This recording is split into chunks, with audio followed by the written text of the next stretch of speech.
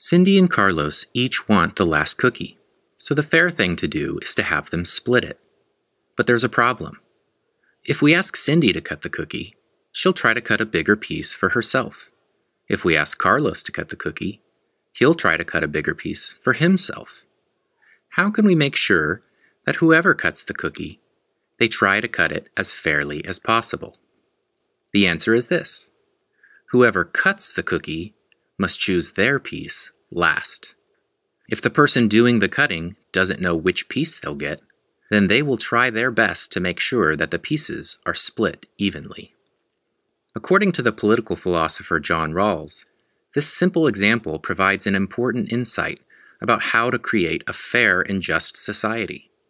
The basic idea is that we do our best to ensure fairness when we don't know exactly how we will be affected. Let's apply this idea to choosing laws and economic policies.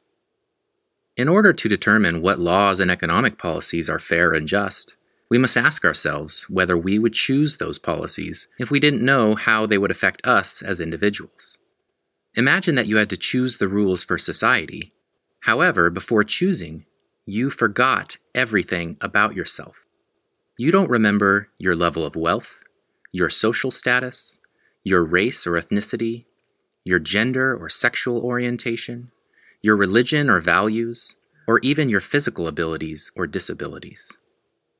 Rawls calls this choosing from behind the veil of ignorance. In such a situation, which laws would you rationally choose? Would you prohibit slavery? What about gay marriage?